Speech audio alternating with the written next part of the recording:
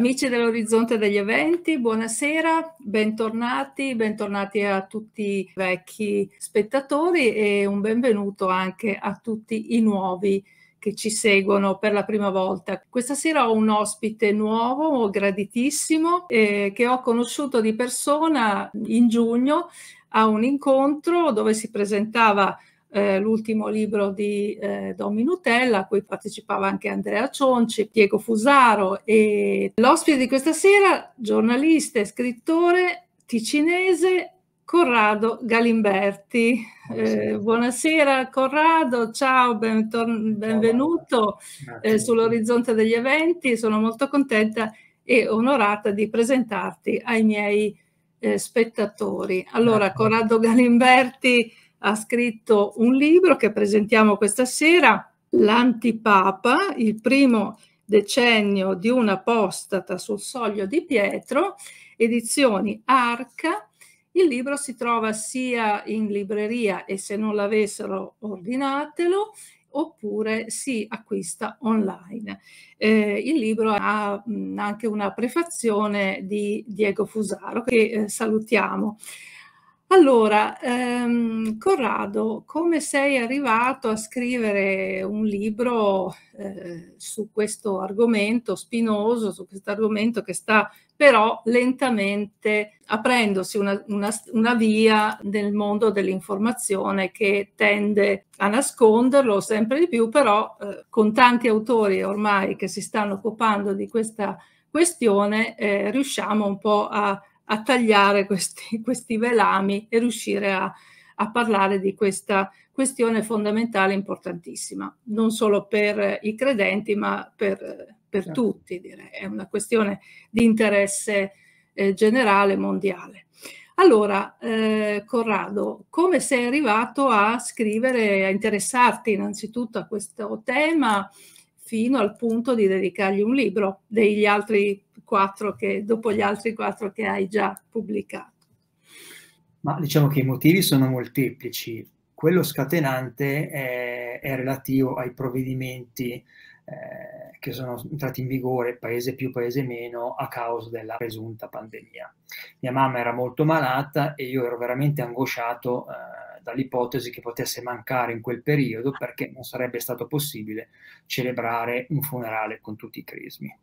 Molti di noi hanno presente i quadri in cui San Carlo Borromeo è in mezzo agli appestati, San Francesco d'Assisi predica eh, tra i lebrosi, non dimentichiamoci poi le centinaia di missionari che nel corso eh, dei secoli hanno perso la vita per andare a diffondere il Vangelo.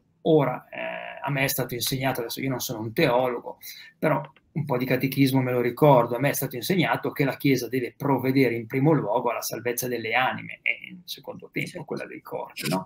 Per cui diciamo che mh, all'idea che mia mamma venisse a mancare e non potessi darle l'addio, diciamo, come si conviene. E quindi poi un giorno, quando sono entrato in chiesa e al posto della, dell'acqua santa ho trovato il disinfettante, diciamo che è stata la voce che ha fatto traboccare il vaso. Ovviamente stavo seguendo seguendo la questione già da molto tempo, perché quando Benedetto XVI ha presentato la ormai celeberrima declarazio, io non mi sono bevuto eh, neanche per un secondo che eh, l'avesse fatto perché eh, era stanco o perché emerso come emerso in seguito perché soffriva di insonnia. Abbiamo poi saputo in seguito, eh, tramite eh, Wikileaks, ovviamente anche in questo caso i giornaloni non si sono molto dedicati all'argomento perché è piuttosto imbarazzante. Dicevo, abbiamo appreso da Wikileaks che eh, era stato ordito un vero e proprio complotto da parte dei poteri forti, in particolare di quelli degli Stati Uniti, per costringere Benedetto XVI alle dimissioni. C'è uno scambio di email impressionante tra l'allora segretario di Stato Hillary Clinton, Obama eh, lo spin doctor di Hillary Clinton, John Podesta e l'immarcescibile Soros, quello c'è sempre, eh, in cui appunto, eh, visto che il Papa era un vero e proprio catecon, eh, era un uomo tradiz- eh, tradizionalista che faceva il Papa e parlava da Papa, eh, bisognava dichiarargli guerra non deve stupire questo interesse, interesse eh, delle potenze straniere eh, nei confronti di un pontefice e delle elezioni di un pontefice.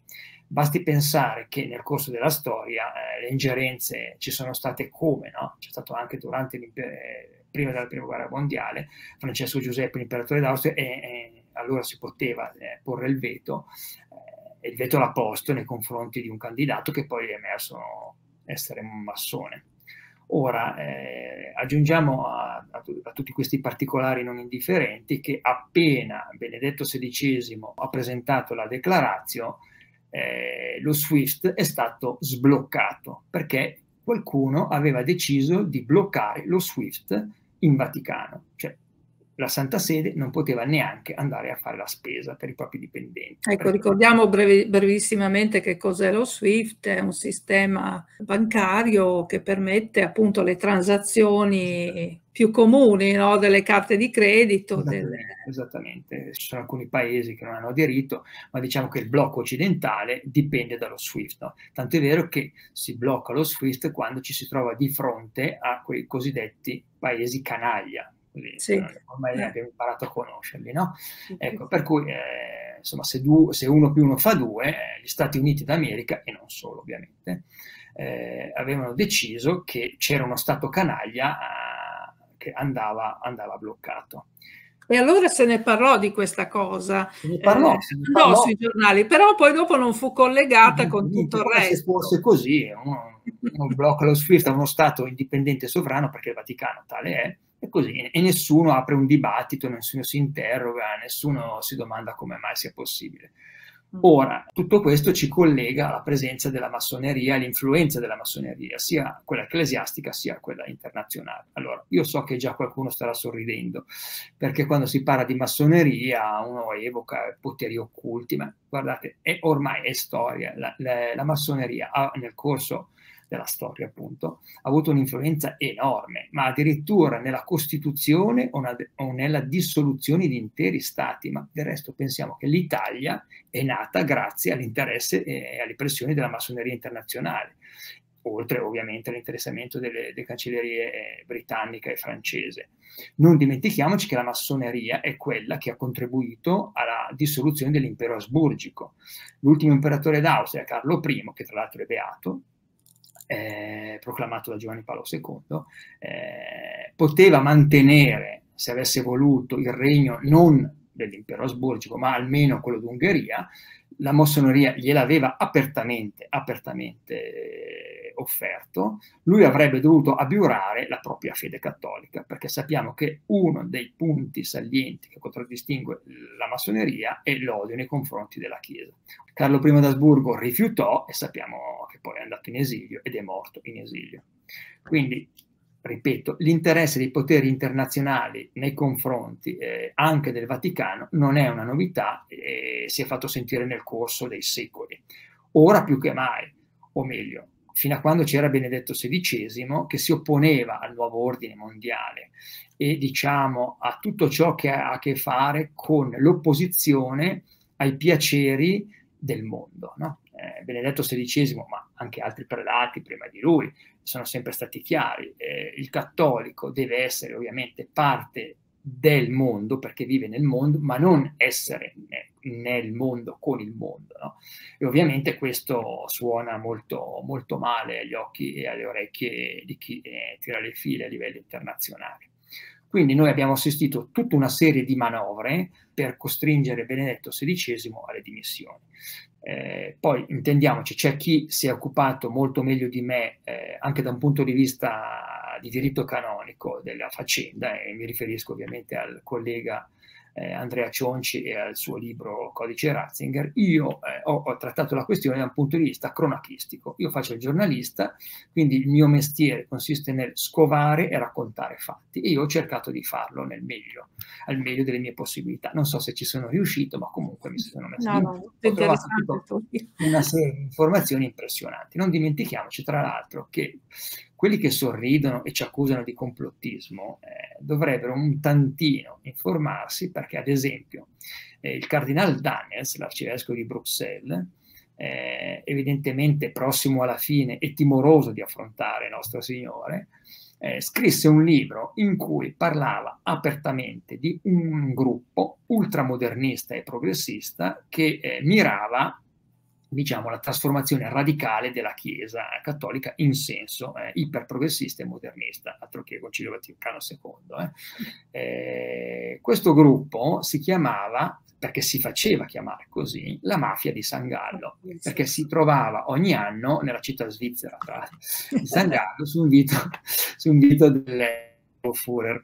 Eh, ora, eh, c'è, un, c'è, un, video, c'è un'intervista al cardinale Daniels alla televisione fiamminga, quindi lui parla fiammingo ma i sottotitoli sono in inglese, in cui l'intervistatore, eh, così molto diplomaticamente, domanda al cardinale Daniels di questo gruppo, no? tra l'altro che era capeggiato dal, dall'arcivescovo di Milano, l'allora cardinale Martini. Ora eh, usa tutti dei termini particolari, gruppo, associazione, al che il cardinale Dani si interrompe il giornalista e gli dice: No, no, ma guardi, non abbia timore, ci chiamavamo proprio la mafia di San Gallo. Quindi il pubblico ride, ma ovviamente non c'è niente da ridere perché la dichiarazione è semplicemente drammatica. Ora, la presenza della massoneria in Vaticano è storia della notte dei tempi. Non dimentichiamoci che fu proprio Paolo VI a eh, commissionare eh, a, Monsignor Gagnon in eh, canadese eh, un'indagine che durò due anni eh, sulla presenza della massoneria in Vaticano, perché era talmente presente, talmente evidente che il Papa stesso ne era preoccupatissimo.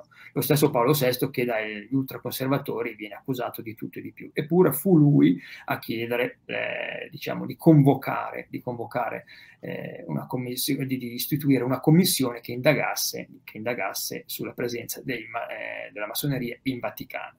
Quando lui, eh, venne presentate le, conclu- le, le conclusioni, in quel periodo proprio sulla rivista OPI, Osservatorio Politico del eh, famoso Mino Pecorelli, Pecorelli, uscì un elenco di cardinali massoni con tanto di numero di affiliazione e di nickname. E ovviamente si trattò di una bomba eh, che molti finsero di non sentire, ma che esplose in tutta la sua virulenza. Questo ci porta ai giorni nostri, ovvero sia alle dimissioni obbligate di, di, Benedetto XVI che si è ritirato in sede impedita e ha continuato ad esercitare no, il, il munus petrinum. Quindi non è stato affatto un'abdicazione, come dicono, perché l'abdicazione, io mi sono recentemente anche eh, così in, in, documentata sull'abdicazione di eh, Edoardo VIII, eh, re d'Inghilterra, che abdicò nel 36 e lì ci fu tutta una serie di documenti successivi, dichiarazioni e dove lui poi nell'atto ufficiale di abdicazione scriveva io rinuncio a tutti i miei oneri e onori eh, legati al trono per me e per i miei discendenti quindi quello è inattaccabile.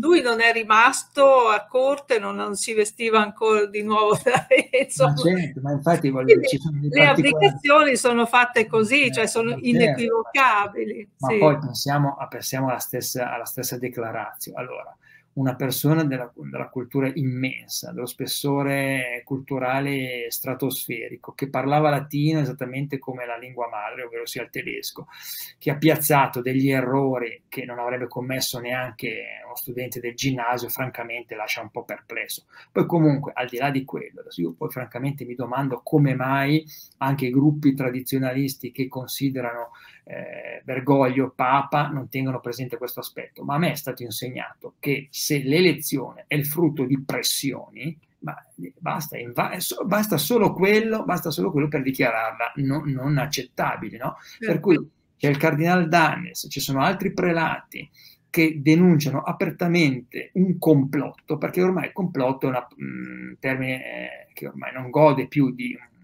una certa serietà, perché ormai si accusa di complottismo tutti per delegittimarli, ma in realtà fu un vero e proprio complotto e quello che si è registrato con le elezioni di Bergoglio è stato niente di più che un colpo di Stato.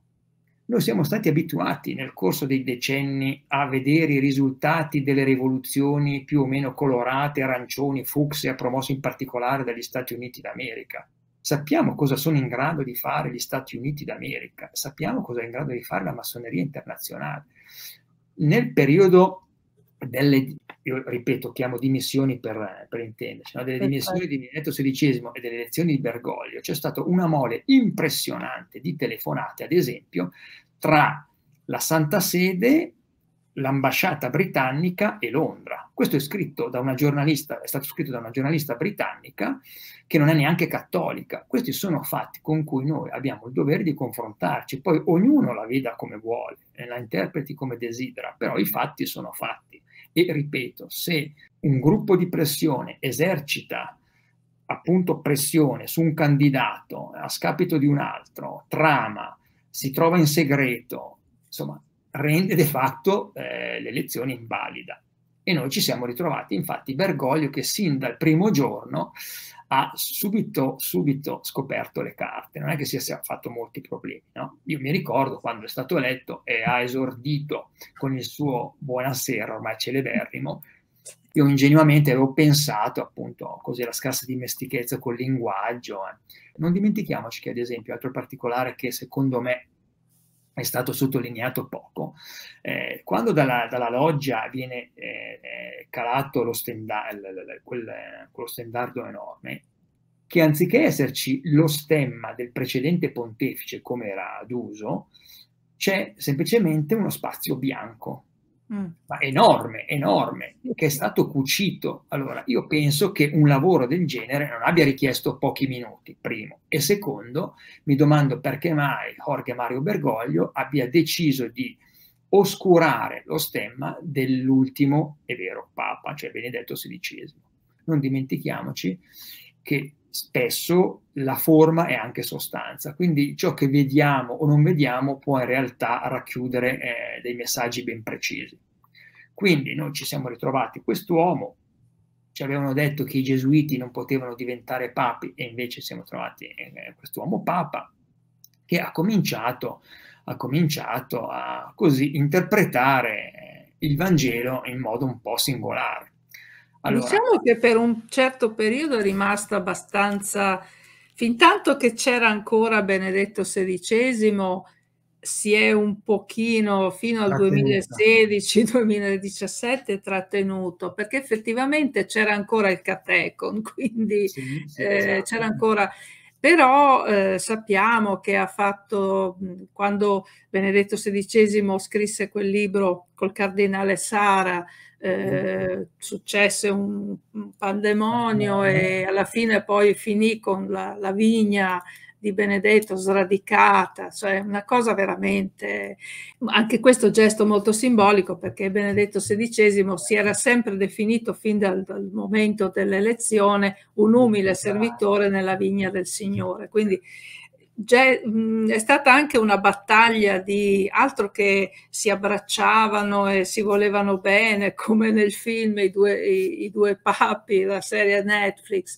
In realtà è stato, si capiva che c'era una certa tensione che però ehm, aveva, ogni tanto sfociava in questi atti molto simbolici. Eh, però, ripeto, da quando siamo di fatto eh, volendo eh, sposare questa tesi dell'antipapato, da, dalla morte di Benedetto XVI, quindi dal 31 dicembre del 22 siamo in sede vacante, ecco, eh, Francesco, Jorge Mario Bergoglio, eh, si è sì. si è sentito un po' libero ecco, di, di, di, premere l'acceleratore. Io mi ricordo, scusa, poi ti lascio la parola, mi ricordo che una delle cose che mi stupì maggiormente, dunque Bergoglio fu eletto a marzo, nel mese di settembre, passando da un'edicola, vidi le figurine di Papa Francesco.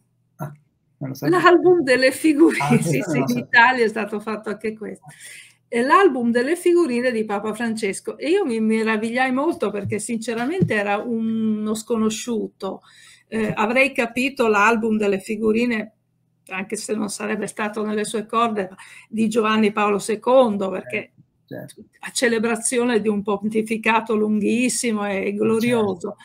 Ma insomma, un personaggio sconosciuto gli fai subito il, l'album che non è che lo fa in cinque giorni così, no? Quindi no, questa cosa già mi...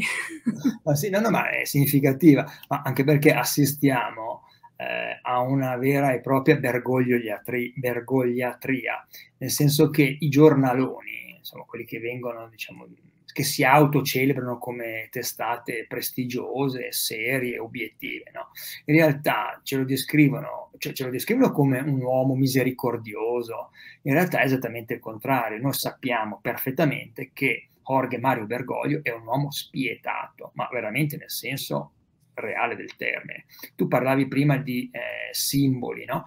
Eh, quando è morto Benedetto XVI, eh, a me questo particolare ha scioccato, la salma è stata prelevata da un furgone commerciale, cioè neanche un carro funebre o un mezzo. Comunque, non lo sapevo. Un furgone, ci sono i video, guardando su YouTube si trovano delle vere e proprie chicche, c'è anche quella del, del furgone commerciale eh, con cui è stata prelevata la salma non c'era una scorta, non c'erano le guardie svizzere, tutto al buio, come se si fosse trattato di nascondere eh, un pacco ingombrante.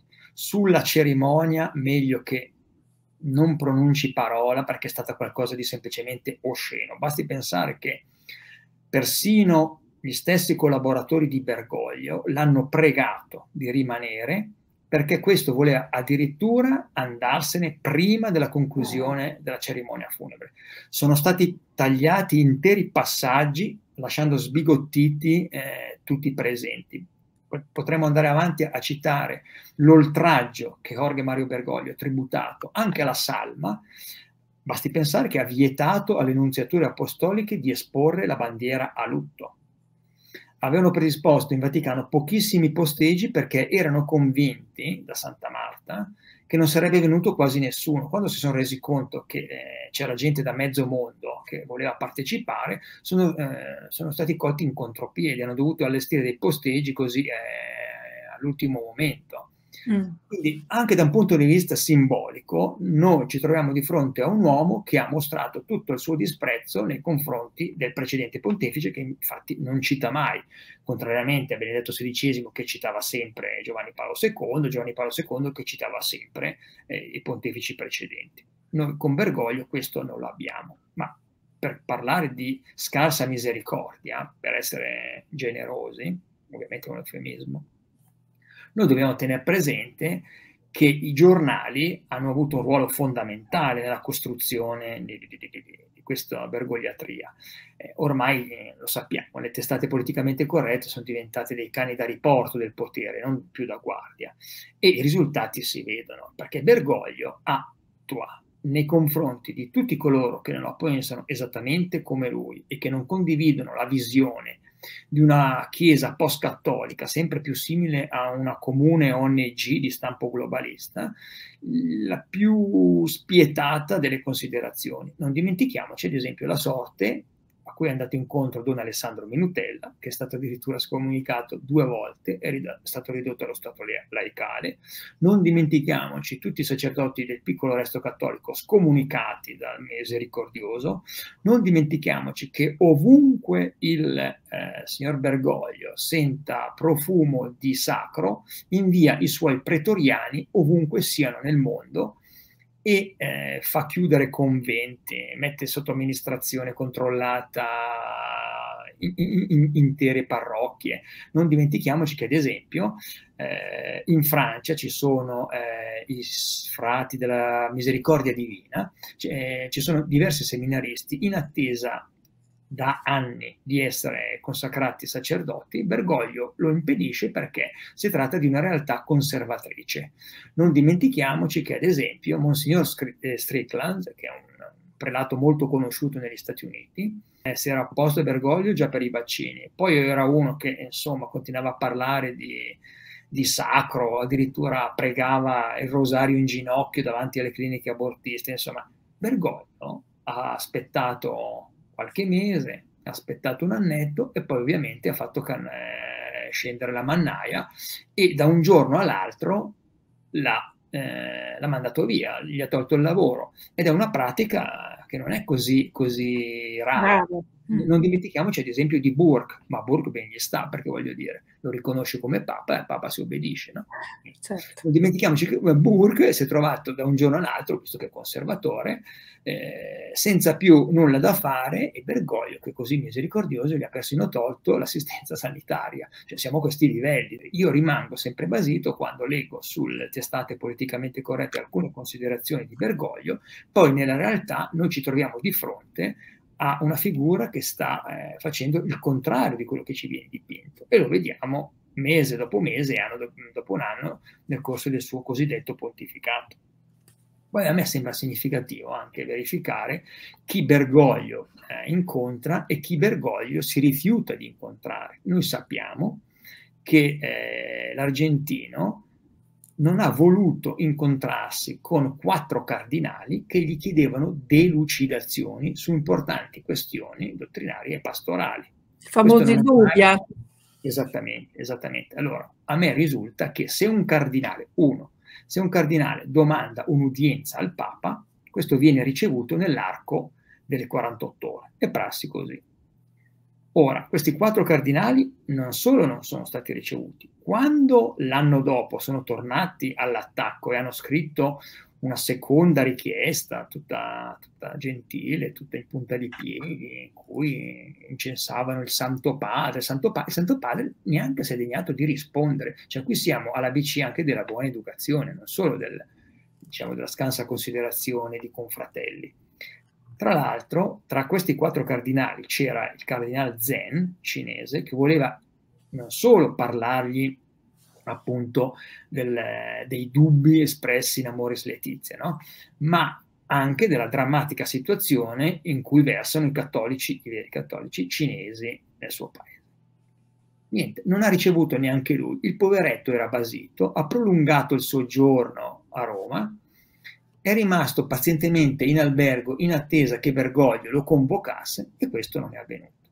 E se da una parte Bergoglio si rifiuta di eh, ricevere addirittura quattro cardinali che lo supplicano di, di, essere ricevuti per avere delle delucidazioni eh, riguardo importanti questioni dottrinarie, e invece riceve personaggi singolari. Pensiamo ad esempio, qui potremmo stare qui una giornata a elencare le chicche e le perle di personaggi che ha incontrato. Il, quello che mi ha lasciato veramente a bocca aperta è stato l'incontro eh, con un artista che sotto gli onori delle cronache, con una celeberrima opera dal titolo Peace Christi. Cioè, si tratta di un crocifisso immerso nell'urina dell'autore. Bergoglio l'ha ricevuto tra baci e abbracci. Non dimentichiamoci poi che, ad esempio, ha ricevuto Whoopi Goldberg, la celeberrima attrice di Sister Act, simpaticissima, tutto quello che volete, anche ho visto i suoi film e francamente sono carini, però questa donna ha otto aborti alle spalle e non solo, ha applaudito quando alcuni sacerdoti cattolici e pastori protestanti sono stati arrestati dalla polizia per avere protestato davanti alle cliniche abortiste. Bergoglio riceve personaggi del genere, oppure pensiamo a Musk, no? Elon Musk che ha, mi sembra, 11 figli, avuti da quattro donne diverse, la stragrande maggioranza dei quali concepiti in provetta, eh, uno dei quali si chiama ha una sigla Ash XZY, adesso non ricordo francamente il nome, ecco, mm, il che mi sembra un palese, un palese messaggio transumanista, no? E lui riceve, riceve, riceve personaggi del genere, riceve e fa cose inaudite a cui abbiamo assistito nel corso degli anni. Una, ad esempio, è stata l'intronizzazione di Pachamama all'interno uh, della Basilica e dei Giardini Vaticani. Cioè, se voi guardate il video, cioè, potete interpretare come desiderate, ma insomma le scene sono terrificanti perché c'è questa divinità. Io ho fatto delle ricerche eh, perché alcuni sostenevano non essere vero, invece è vero, a questa divinità venivano anche fatti sacrifici umani, ma ovviamente non è questo l'aspetto più significativo, mm. è che in Vaticano Bergoglio e i suoi pretoriani hanno celebrato una divinità pagana. Se voi vedete le scene, vedete questi singolari personaggi con sonagli, bastoni, campanelli, sciamani, streghe e stregoni che onorano questa dea della madre terra con tutti i cardinali intorno che cantano felici. Ecco, noi ci troviamo oggi nella Chiesa Cattolica quello che viene definito un pontefice e rendersi protagonisti di queste chicche. Possiamo ad esempio citare anche l'intronizzazione della statua di Martin Lutero all'interno del Vaticano. Allora, uno può anche essere luterano, per carità, però voglio dire, Lutero è stato, io penso, il più inflessibile nemico del cattolicesimo. Poteva avere ragione, poteva aver torto, ma è stato quello che ha dimezzato il numero di cattolici in Europa tempi, no? Ecco, e non contento di, eh, quando gli luterani sono, sono, andati a vedere la statua, non credevano ai propri occhi, non contento, Bergoglio ha fatto pure stampare un, eh, un francobollo che celebrava Martin Lutero. Siamo a questi livelli. E poi appunto ci troviamo di fronte a un uomo che parla di tutto fuorché di Dio, che va in giro per il mondo in perfette condizioni psicofisiche e poi dall'Immacolata Concezione fino a Pentecoste è sempre malato e non riesce a celebrare messa. Anzi, è stato, è stato dimostrato che non celebra messa dall'aprile del 2022 anche io infatti anche mi sono interessato alla questione, lo si vede dai paramenti, no? eh, quando al piviale eh, lui presiede ma non celebra. Ecco, sono tutti aspetti sconvolgenti, ad esempio anche il simbolismo che lui esterna con la croce, no? che, che, che, che si è appesa al collo. Ecco, anche questo lo ritrovate facilmente in internet ha ricevuto, ha ricevuto l'apprezzamento del, della, massoneria, della, massoneria, italiana.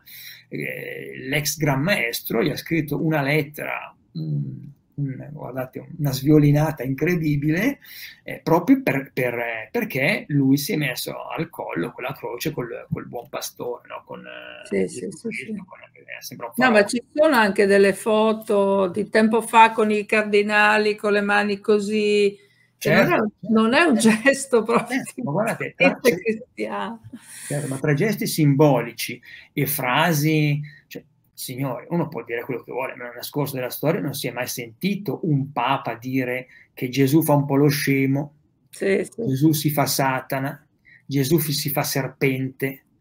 Cioè, sono, sono frasi sconvolgenti, mm. sconvolgenti. E c'è anche gente che, che lo giustifica. Ad esempio, c'è una celeberrima telefonata con, un, con, una fedele, anche questa potete andare, lo ribadisco per l'ennesima volta, potete trovarla su YouTube. C'è una telefonata con una fedele, la quale ha un, un, un figlio autistico. Ora, al termine della conversazione, lui chiede alla donna di pregare per lui, lei gli risponde, gli risponde che ma no, santità, non ce n'è bisogno, un santo come voi. E Bergogni che cosa risponde per ringraziare la povera fedele? Ci rivedremo all'inferno. Allora, io non so, io fossi un, un, un sacerdote, un cardinale, insomma, io balzerei sulla poltrona se voi andate a leggere le giustificazioni che ci sono, c'è da sì, piangere, c'è da piangere. Ad esempio, c'è, c'è, c'è, qualche prelato che ha detto ma guardate che in realtà lui intendeva dire che pur di salvare le altre anime lui è disposto a condannare la propria e andare all'inferno lui al posto degli altri. È peccato che lui dica ci rivedremo all'inferno. Eh, eh, eh. Quindi non salva neanche la povera fedele e suo figlio. Ecco, siamo, siamo di fronte a, a queste chicche. Eh, e poi, insomma, qualcuno non, non, può fare paragoni con Benedetto XVI, ma signori, noi ci troviamo di fronte a un pontefice, mi riferisco a Ratzinger, che comunque parlava del Vangelo, non lo interpretava, era un catecon per opporsi alla diffusione delle forze del male, a parte il fatto che Ratzinger è stato chiaro sin dall'inizio, voi ricorderete probabilmente l'omelia che fece eh, ai funerali di eh, Papa Giovanni Paolo II. No? Tutti i vaticanisti furono sorpresi perché lui era uno dei papabili e fece un discorso in cui parlava di sporcizie nella Chiesa che praticamente eh, si pensava lo, lo, escludesse perché io mi ricordo, avevo letto degli articoli, tutti dicevano, so, questo è il discorso di uno che non può diventare papa, che non vuole fare il papa perché si autoesclude, e invece sappiamo che è accaduto il contrario, perché lui intendeva esattamente combattere la sporcizia che altri invece vogliono cementificare e incrostare in tutto il Vaticano. E questo sta accadendo oggettivamente da, da tempo in memore, non è che Bergoglio sia arrivato di punto in bianco, ha trovato un substrato, ci ricolleghiamo alla mafia di San Gallo prima, i modernisti e i progressisti che insomma hanno, hanno già compiuto un lavoro non indifferente. Eppure noi ci ritroviamo oggi una stampa e gran parte della cosiddetta Chiesa che Così di fronte a quest'uomo non ha nulla, qualsiasi cosa dica va bene. No? Noi l'abbiamo visto anche partecipare al G7, quindi diventare praticamente de facto, eh, anche dal punto di vista di presenza fisica, parte del nuovo ordine mondiale che vuole instaurare un certo tipo di mondo. E guardate, io proprio pochi giorni fa leggevo ancora il termine nuovo ordine mondiale su una testata politicamente corretta che veniva ridicolizzato perché era un termine che si imputa, imputa eh, ai complottisti. Ma guardate, ci sono dei documenti in cui c'è scritto apertamente nuovo ordine mondiale. Bergoglio è parte di questo potere perché comunque, ripeto, parla di tutto fuorché di Gesù Cristo. Quando lo fa, insomma, dà una certa interpretazione, non dimentichiamoci che poi si circonda di personaggi di un certo tipo, no? Celebre l'affermazione del, del, del capo supremo dei gesuiti, Abascal, no? il quale ha dichiarato apertamente a un giornalista che gli faceva notare certe osservazioni che sono contenute nel Vangelo e che mh, Bergoglio, insomma, metteva un po' in discussione, Abascal ha apertamente dichiarato, e ma a quei tempi non c'erano i registratori. Ora, è un'affermazione di una gravità inaudita, qui non c'è da ridere, perché sì, sì, questi, sì. Questi, questi, personaggi sono anche soliti fare battute e ottenere il plauso anche della gente che non si rende conto della gravità di ciò che viene detto. Ad esempio, Bergoglio un giorno ha ricevuto una comitiva di seminaristi scozzesi, i quali gli hanno portato in dono una bottiglia di whisky pregiatissimo, di quello che non si trova ai supermercati. Bergoglio ha ringraziato e ha apertamente dichiarato, testuale, questa sì che è la vera acqua santa. Ora la battuta farà anche ridere, ma farà ridere me e te quando andiamo al bar e alziamo il gomito, ma certo.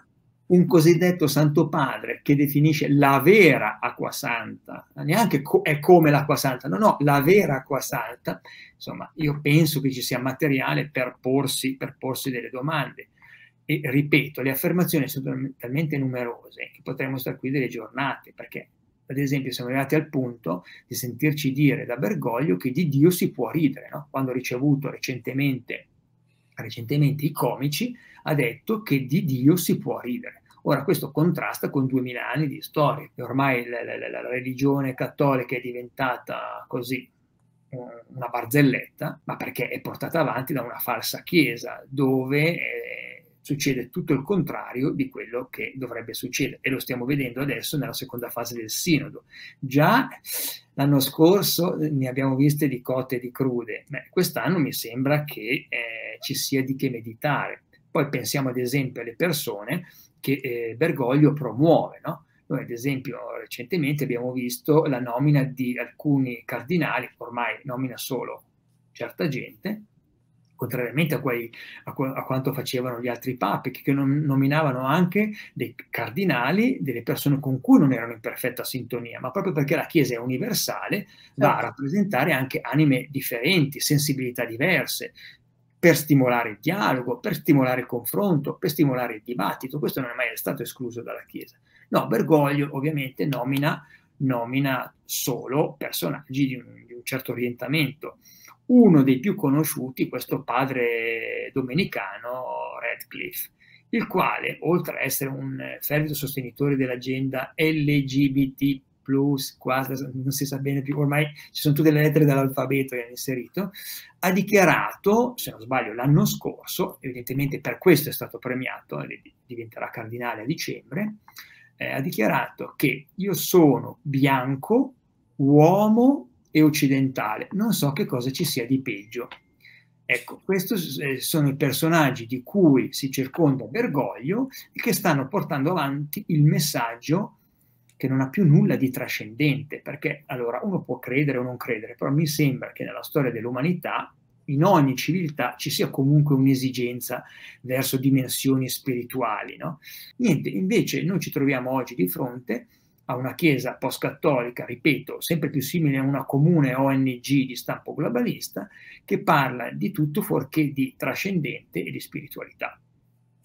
Ma eh, una cosa che mi ha colpito, questo l'ha fatto nel, anche negli ultimi tempi, ogni tanto Francesco butta lì qualcosa di, eh, per parafrasare Moretti, no? di qualcosa di sinistra, ogni tanto dice qualcosa di cattolico.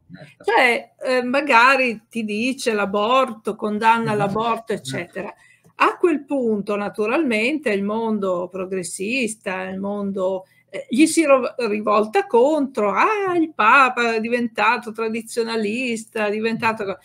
A me sembra tanto un teatrino questo. Ma certo, ma indubbiamente lo è, indubbiamente lo è, anche perché, ripeto, a parte che, voglio dire, anche un orologio rotto due volte al giorno segna l'ora giusta, per cui anche le spie, quando vengono introdotte eh, in governi stranieri, non è che possano proprio così scoprire le carte subito, eh, eh, spargere il proprio seme, cioè, bisogna andarci cauti. A parte che Bergoglio non mi sembra ci stia andando cauto, soprattutto a partire dal 2023, no?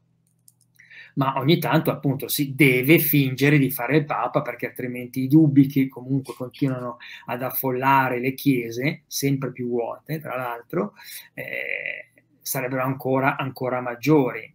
Tra l'altro l'aspetto del, del, dello svuotamento delle chiese è impressionante. Il problema è che Bergoglio, dove c'è aria di santità, dove c'è aria di spiritualità, dove c'è aria di preghiera, manda i suoi pretoriani. Noi sappiamo che in tutto il mondo, Europa e Stati Uniti in primis, là dove ci sono delle realtà conservatrici, per quanto valga questo termine, lui manda i pretoriani, fa chiudere, fa chiudere conventi e monasteri. Tra l'altro c'è eh, un caso eh, di cui negli Stati Uniti si è parlato molto, che ha veramente fatto da una parte sorridere e dall'altra piangere, perché quando eh, in un monastero eh, le suore di clausura eh, hanno dimostrato di essere di, di, un, di, una certa pasta, cioè erano troppo conservatrici, pregavano troppo, e Bergoglio gli ha mandato i propri pretoriani, ha fatto male i conti perché a volte eh, non gli vanno tutte dritte, no? Per cui, ma aspetta, a me viene da sorridere perché uno si immagina le monache di clausura, eh, tutte pie, dolci, che parlano in modo sommesso, che pregano dalla mattina alla sera, e questo faceva, facevano oggettivamente così. Sì, però eh, la madre superiore, attaccata in modo vergognoso, e poi spiegherò perché, ha fatto una bella cosa, ha chiamato l'avvocato e l'avvocato cosa ha fatto? Scusatemi se rido, ma eh, la trovo molto così, in questo, in questo, marasma, almeno qualche nota di colore. L'avvocato cosa ha fatto? Ha preso dei provvedimenti per cui ha vietato persino al vescovo di accedere al monastero.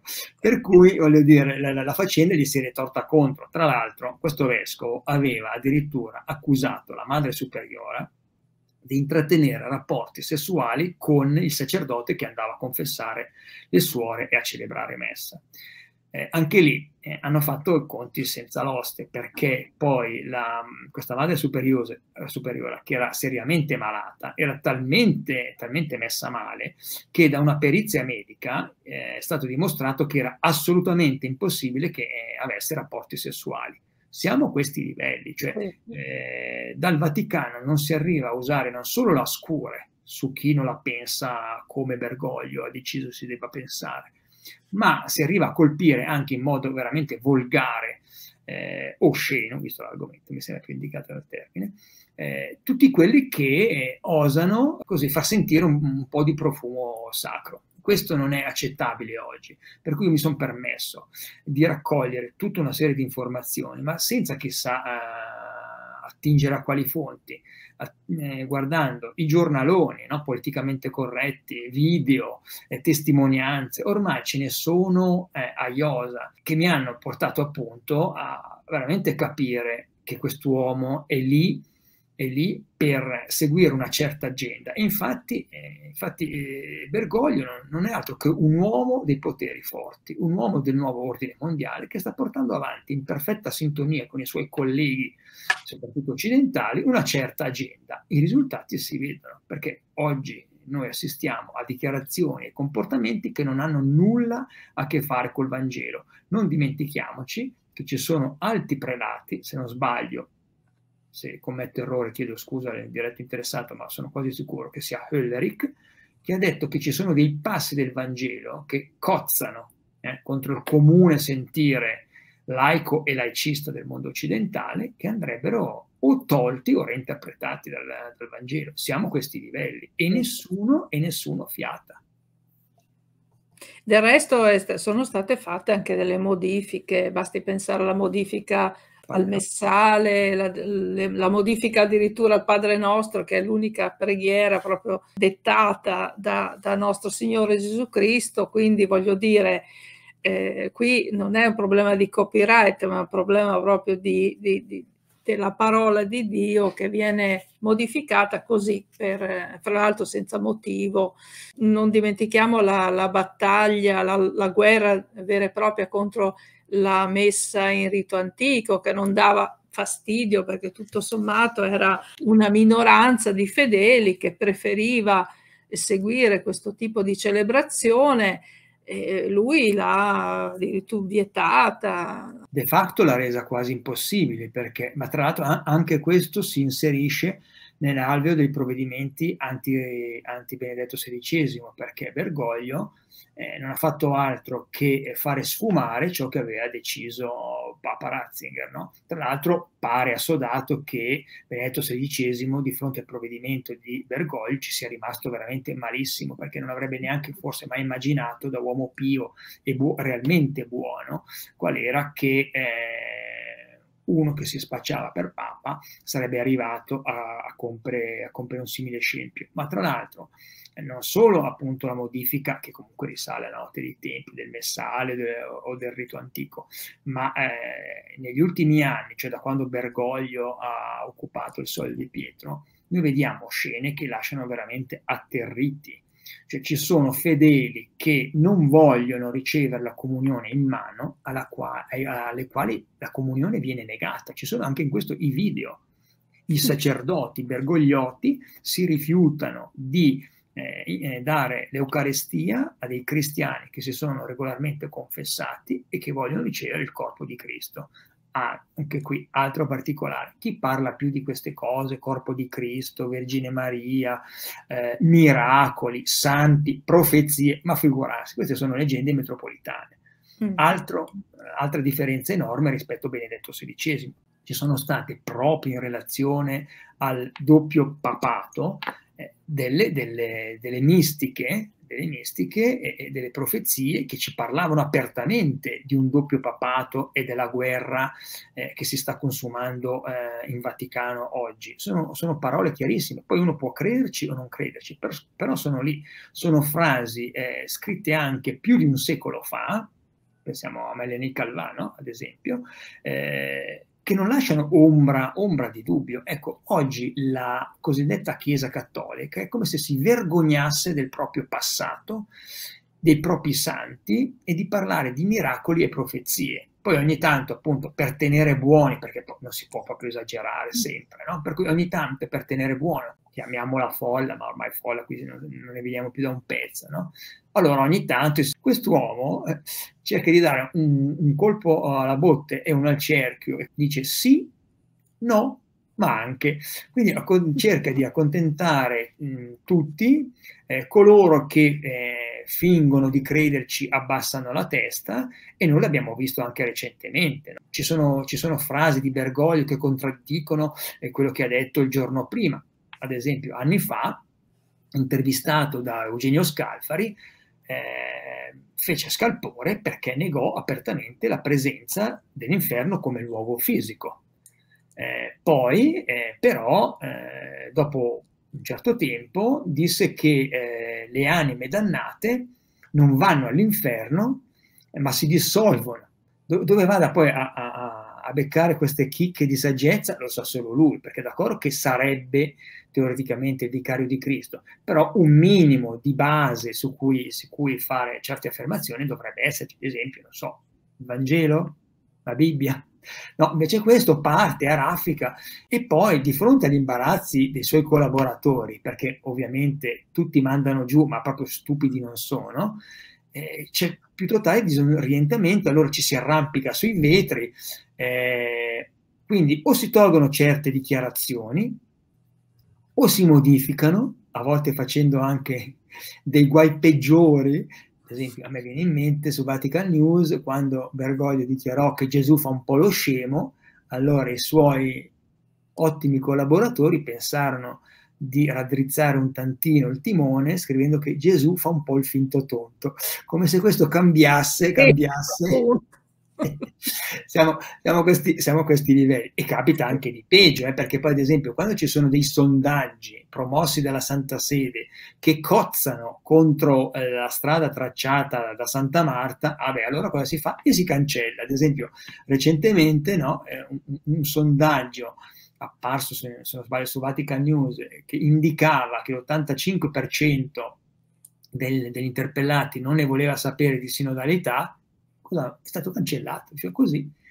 Siamo altro che censura, altro che, altro che inquisizione, qui si cancellano nel 2024 i sondaggi non graditi e invece si promuovono quelli che vanno in una certa direzione, no? per cui ovviamente... Adesso hanno, hanno addirittura introdotto il peccato contro la sinodalità, ma, ma, il più bello è il peccato contro chi eh, usa il Vangelo per scagliarsi contro, adesso non, ricordo la definizione, già la definizione richiede un volume di 300 pagine, perché evidentemente eh, hanno il, il, cervello così disturbato che persino nella formulazione semantica devono trovare delle formulazioni che eh, occupano alcune righe.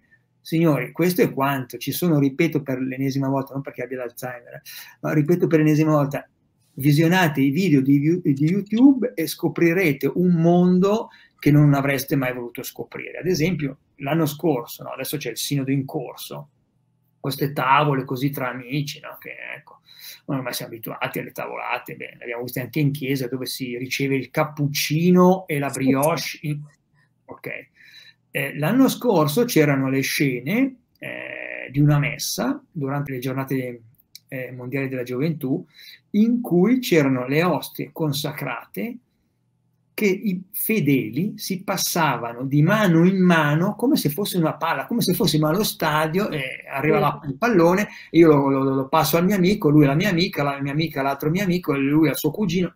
Cioè, anche questo andate a vederle. Questo è, que- è quello che è rimasto oggi della Chiesa Cattolica. Poi ripeto, uno può credere, non può credere, però anche le persone non credenti io penso che comunque di fronte a determinati personaggi debbano trarre qualche conclusione. No? È come se noi avessimo sentito la Thatcher eh, parlare di abolizione della proprietà privata ed esaltare Carlo Marx. Cioè qualcuno si sarebbe fatto qualche domanda, no? Ecco, però è possibile che nessuno si interroghi e non mi si venga a dire che Bergoglio fa l'amicone per eh, recuperare no, la secolarizzazione che ormai è imperante nel mondo occidentale da molti anni.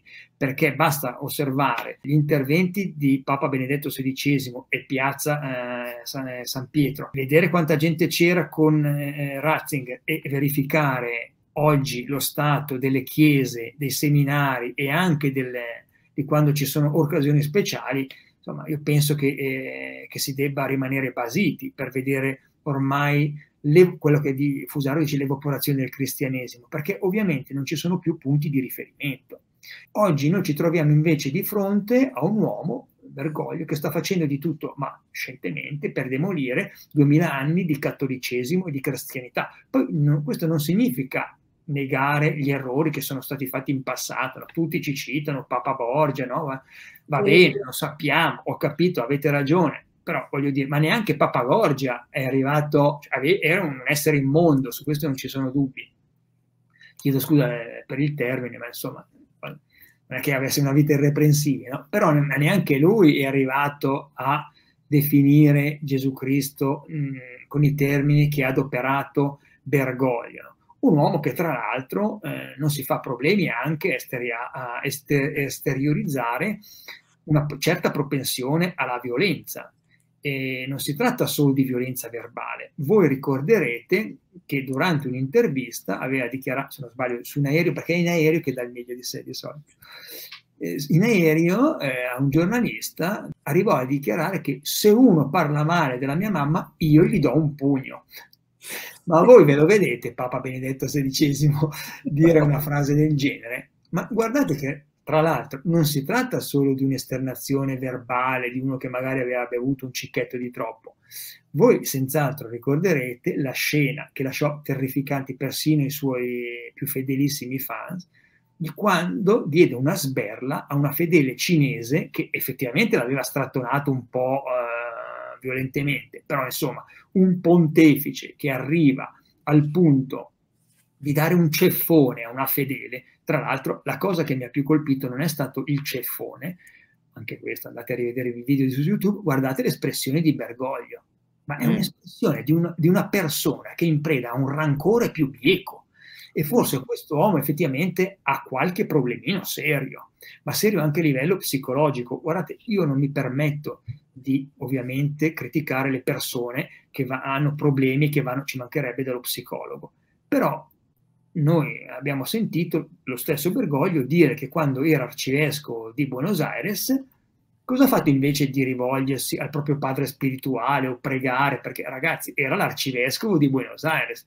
No, andava da una psichiatra ebrea, tra l'altro. Adesso ovviamente non è un'accusa nei confronti di nessuno, però ricordiamoci che persino un papa non conservatore come Papa Giovanni XXIII aveva proibito ai, persino ai seminaristi di andare dallo psicologo, perché possiamo andarci io e tu, possiamo, andarci la gente comune, ma un sacerdote dovrebbe trovare nella spiritualità in Dio e nel proprio padre spirituale perché serve a quello, mi sembra, il sostentamento per creare, per, per, per eh, essere aiutato di fronte a certi dubbi che ci mancherebbe altro, no? uno non può sapere, per il arcivescovo di Buenos Aires, che appunto, anziché rivolgersi al Signore, nostro Signore Gesù Cristo, va da una psicologa di un che professa un'altra religione, dovrebbe, dovrebbe, dovrebbe far riflettere, così come dovrebbe far riflettere anche l'atteggiamento di Bergoglio quando era arcivescovo di Buenos Aires. A parte il fatto che vorremmo sapere come mai dopo più di 11 anni di pontificato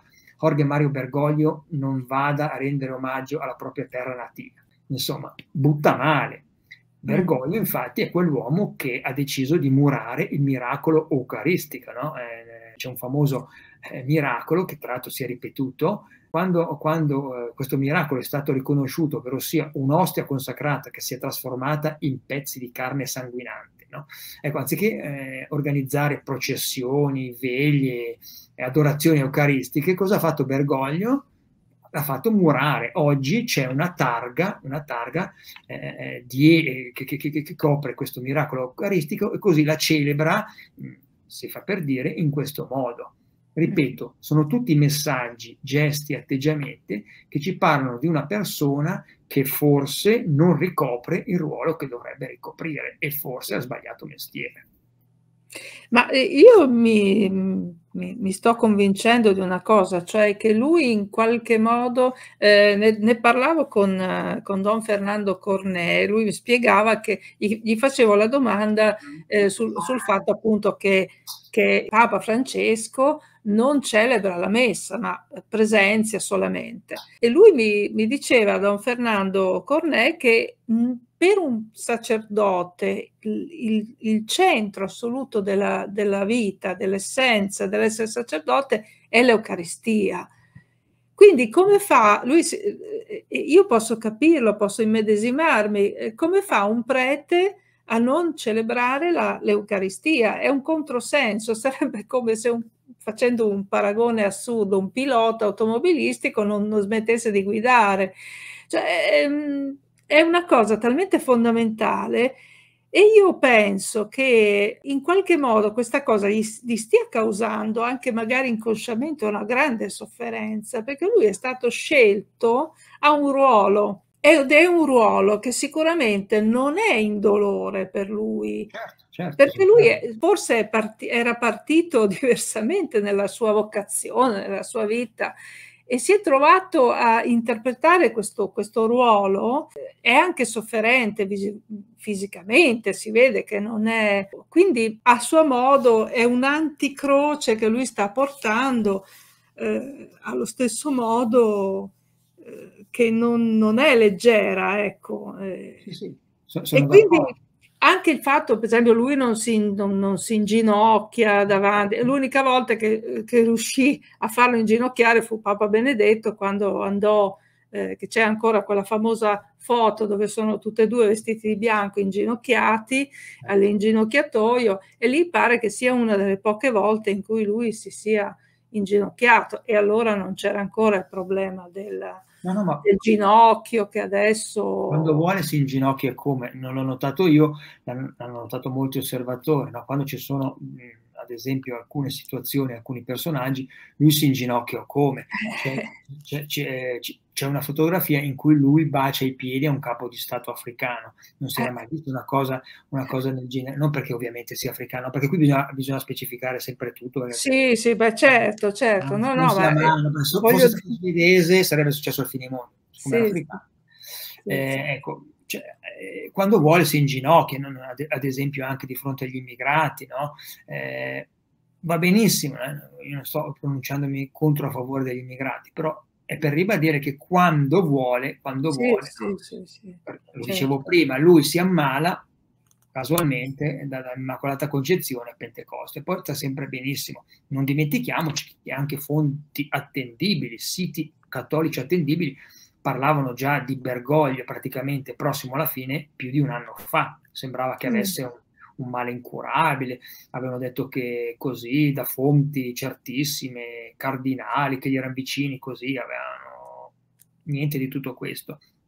Ma quest'uomo secondo me si autoalimenta perché comunque ha una missione da compiere e, e, vuole, e, vuole, portarla a termine. Eh, tra l'altro, ci, se non si inginocchia, poi però, eh, e ad esempio rifiuta di tributare l'onore che un papa dovrebbe tributare eh, diciamo, all'ostia consacrata, ma non si fa remore nel, nel tributare onori a personaggi un tantino discutibili.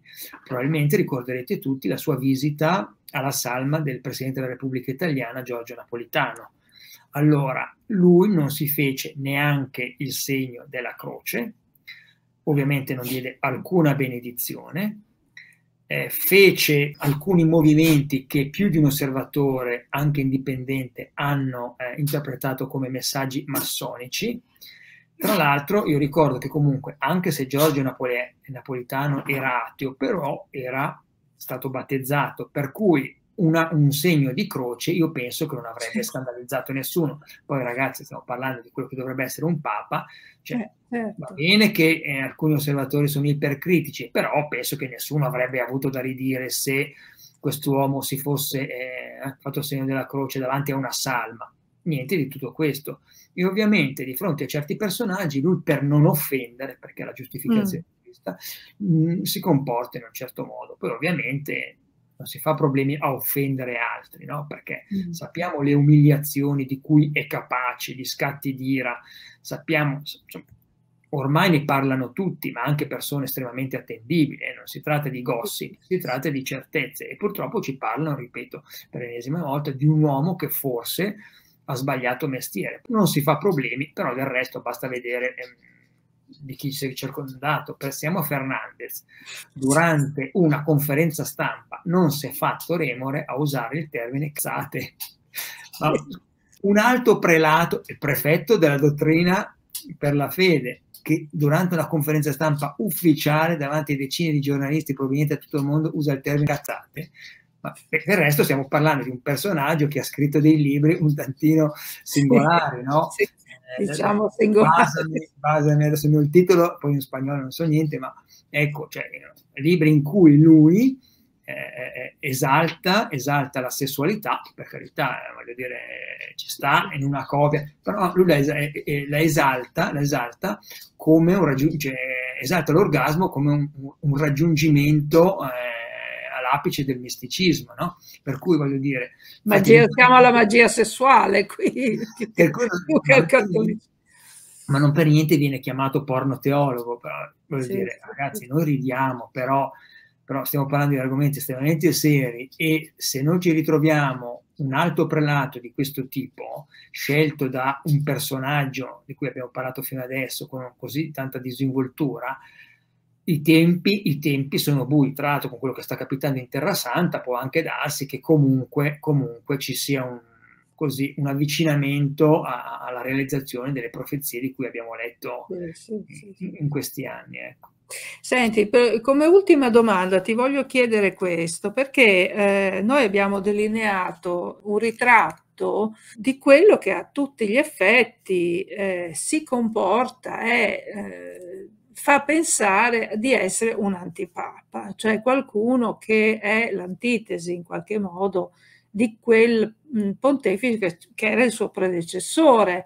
Lui si definisce il successore nella sua bi- biografia e il suo predecessore era eh, proprio una figura anti- antitetica, possiamo dirlo chiaramente. Quindi il passaggio da, eh, Giovanni, da eh, Benedetto XVI a Francesco è stato un passaggio eh, traumatico. C'è chi dice che mh, Francesco fosse mh, pronto, tra virgolette, già alla morte di eh, Giovanni Paolo II, ma che in quel caso eh, lo stacco sarebbe stato ancora più difficile da giustificare, sarebbe stato ancora più traumatico passare da Papa Voitiva a, a Bergoglio, per cui ci fu questo intermezzo, questo, questo eh, papato, che se, secondo me era stato sottovalut- sottovalutato. Ratzinger è sempre stato sottovalutato, sottostimato. E, ed, ed, è un papa che è destinato, secondo me, a eh, brillare di luce, della luce che gli compete, eh, solo con una, una, sorta di riabilitazione, un ritorno del Papa Re che dovrebbe essere eh, assolutamente doveroso. Ma ti, ti, arrivo alla domanda. Uh, in questi, soprattutto in questi ultimi anni, eh, il dire per esempio che l'inferno non esiste è un'eresia. Certo. Ecco, sappiamo che il Papa eretico non può esistere, che ci sono stati dei papi che hanno pronunciato delle frasi considerate eretiche, sono stati eh, ripresi eh, hanno rinnegato, si sono pentiti di quello che hanno detto e la cosa è rientrata lì. Una cosa di questo genere non è mai, non è mai avvenuta per Francesco. Quindi lui è pervicacemente eretico. Continua a pronunciare cose sempre più, certo. anche insomma quelle, quelle affermazioni su, su, Gesù Cristo, insomma sono eresie, certo. non c'era il, il, il magnetofono allora, insomma sono eresie ti domando, ma i tradizionalisti cattolici come fanno? Io, cioè, qualsiasi persona, qualsiasi persona che non è credente eh, e gli spieghi in quattro parole questa vicenda delle dimissioni, tra virgolette, di Benedetto XVI di Papa Francesco, qualsiasi persona non credente o con poca fede ti dice ah ma sì ma Benedetto l'hanno, l'hanno cacciato e questo è un usurpatore. Cioè ci arriva la persona più semplice eh, del mondo come mai i grandi intellettuali cattolici i grandi esponenti del tradizionalismo appena affronti questa questione vanno letteralmente in bestia e non eh, rifiutano completamente l'idea che possa esserci un antipapa. Io me lo domando tutti i giorni. A me veramente è una cosa che rasenta la, la, la, poi, la magia. Anche, si offendono anche, perché tra l'altro io ho notato, eh, perché ovviamente seguo molti siti, molti interventi, ma di persone anche estremamente, estremamente preparate. Eh eh, ho notato anche un certo astio nei confronti di tutti quelli che eh, sono convinti della nullità delle elezioni di Bergoglio. Non me ne parlare. Le prove siano eclatanti. Tra l'altro, guarda, mi dai l'occasione di ricordare che effettivamente eh, quando morì Giovanni Paolo II, la mafia di San Gallo non aveva puntato su Bergoglio, ma su Martini, su Cardinale Martini, che ovviamente era un uomo, secondo me, da un punto di vista era terribile, perché però era estremamente intelligente, era un biblista di fama internazionale, una persona di spessore culturale notevole. No? Poi a, a, Martini venne il Parkinson e per cui non se ne fece niente, ma anzi era stato, era stato Martini in primo luogo a opporsi all'elezione di Bergoglio e addirittura aveva deciso di convogliare, per quanto paradossale possa sembrare, i voti della sua cricca su Ratzinger piuttosto che vedere Bergoglio. Poi le cose sono andate eh, differentemente come abbiamo ben saputo e come abbiamo capito e saputo. Su come reagiscono i tradizionalisti io francamente mi, mi, mi, mi, stupisco tutti i giorni sino a un certo punto, perché guardate, ormai ci troviamo di fronte al mondo che va al contrario. Voi immagino ricordiate bene l'oltraggio all'ultima cena che c'è stato nel corso delle Olimpiadi, no? Mm. Ok. Mm.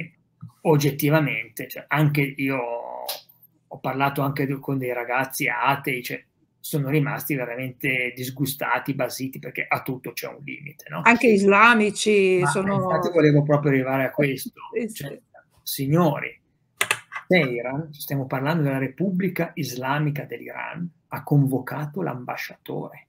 Io ho visto delle fotografie reperite su un sito di controinformazione, o meglio di informazione, in cui eh, si vedono i manifesti con la vera ultima cena e con un messaggio di solidarietà nei confronti dei cristiani.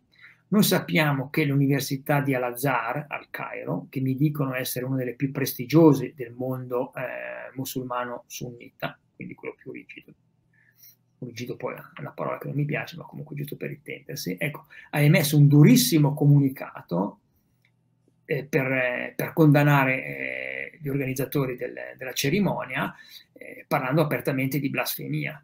Il Vaticano ha taciuto per interi giorni e quando mi sembra dopo una settimana è stato costretto a uscire allo scoperto perché ovviamente se ne parlava in ogni dove, emesso un comunicato, ma che definire blando è un eufemismo. Poi, certo, c'è stata la presa di posizione subito di qualche cardinale, anche a Parigi, quello che ci mancherebbe altro. Però al di là di quello che eh, si vede in superficie, noi dovremmo, dovremmo scavare e ci renderemmo conto che comunque spesso quelli che vengono dipinti come nemici in realtà sono nostri amici e collaboratori. Io ho sempre detto, guardate, qui in Svizzera sapete che noi votiamo su tutto, no? Ogni quattro mesi, tre mesi si va a votare sulle iniziative più disparate da, da, da, dalle tasse al taglio delle corna delle mucche, per intenderci. Ecco. Siamo, no, è vero, siamo andati anche a votare sulla, eh, sul divieto, sul divieto eh, di, di, di, di, coprirsi il, il velo, che ovviamente è la pratica che usano gli islamici. Io ho votato contro, ma per un semplice motivo, perché mi sono detto, cominciano con gli islamici e poi passano e arrivano a noi. Ed è quello che sta succedendo in moltissimi paesi d'Europa. Guardate che in Norvegia una giornalista cristiana che ostentava il crocifisso e che si è rifiutata di toglierselo eh, quando conduceva il telegiornale è stata licenziata. Mm. Noi oggi eh, in Francia sappiamo che esternare simboli religiosi può provocare l'arresto immediato. C'è un, un pullman che è, è, andato in giro eh, dopo l'oltraggio eh, della manifestazione alle Olimpiadi con un banalissimo manifesto in cui chiedeva il rispetto, il rispetto della, della cattolicità, i suoi componenti sono stati arrestati, hanno trascorso una notte in prigione senza cibo, senza acqua, senza poter vedere l'avvocato. Quindi noi siamo a questi livelli. E, ripeto, gli amici a volte eh, si nascondono sotto la superficie, mentre noi ci vengono presentati come tali quelli che in realtà sono nemici giurati. Sul, sui tradizionalisti, come cenavi tu, io francamente non, non, non so proprio come, come, esprimermi, perché quando vedo Burke, eh, che è stato trattato come è stato trattato, che eh, si alza sorridente e abbraccia Bergoglio, ragazzi, cioè, bisogna averne di pelo sullo stomaco. Purtroppo io penso che in questo frangente si debba, si, debba, si debba fare un chiaro riferimento al materialismo più che alla spiritualità, perché non dimentichiamoci che i cardinali quelli che ai tempi, mi ricordo, il senatore Umberto Bossi chiamava cardinaloni, i cardinaloni non, ve, non vivono in monolocali a Quartoggiano, hanno un certo stile di vita. Forse, io ho l'impressione, chiedo scusa se sto commettendo errore, ma io ho l'impressione che per tutelare i propri privilegi e la propria posizione, eh, il proprio modus vivendi, facciano finta che Bergoglio eh, sia un legittimo pontefice, che in realtà la pensino esattamente come te e me e, e tante altre persone. Purtroppo si ostinano a parlare invece in modo differente per tutelare i propri privilegi che hanno acquisito nel corso della vita. Mm, mm. Ecco, quindi abbiamo cotto sulla graticola abbondantemente questo antipapato che va avanti ormai da 11 anni. Infatti il sottotitolo eh, del tuo libro è il primo eh, decennio di una apostata sul soglio di Pietro, ricordo il titolo del tuo libro, L'antipapa. In questo libro troverete anche tutti gli esempi che eh, Corrado Galimberti ha raccolto appunto nel corso di questo decennio, tutti gli esempi che portano a, eh, che mettono in evidenza eh, le cose dette da, da, Bergoglio, le cose fatte e non fatte, eh, il rapporto con il suo predecessore, tutti gli atti più o meno ostili che sono stati compiuti contro di lui ehm, e tutto quanto insomma ci porta a chiederci come mai venga tollerato eh, questo, questo comportamento eh, a volte palesemente eretico senza che qualcuno non si faccia qualche domanda. Ricordo come ultimo aneddoto il fatto che eh, nelle indicazioni per le sue esequie Benedetto XVI impose che non partecipasse Joe Biden che nel frattempo era diventato, credo, era già presidente degli Stati Uniti, e, e che invece al, all'epoca di questo colpo di Stato era vicepresidente di Obama e pare che credo nel 2012 o 2011 andò appunto a eh, parlare con Benedetto XVI e uscì eh, si riportano, appunto, riportano le cronache che eh, Biden uscì non molto soddisfatto da, dal eh, colloquio con, con, Benedetto. Chissà cosa gli aveva chiesto, probabilmente si dice che eh, avesse chiesto appunto, quelle aperture nei confronti dell'aborto, nei confronti del sacerdozio femminile, che anche questo è un problema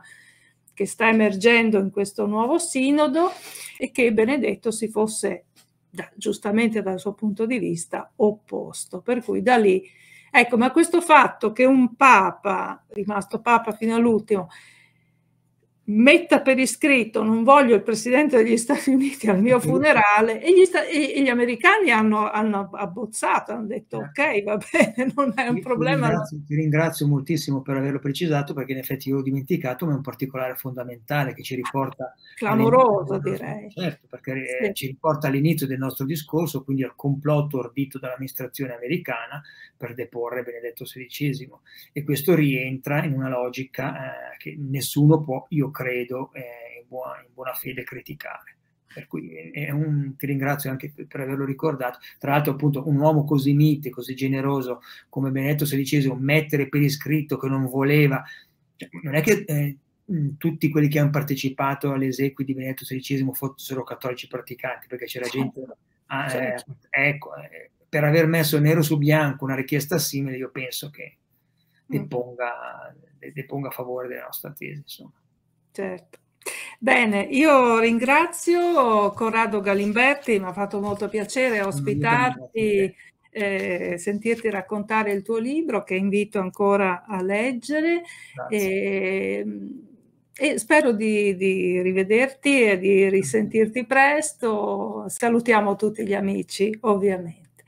Ecco, eh, arrivederci a Corrado Galimberti e grazie, grazie per questa testimonianza.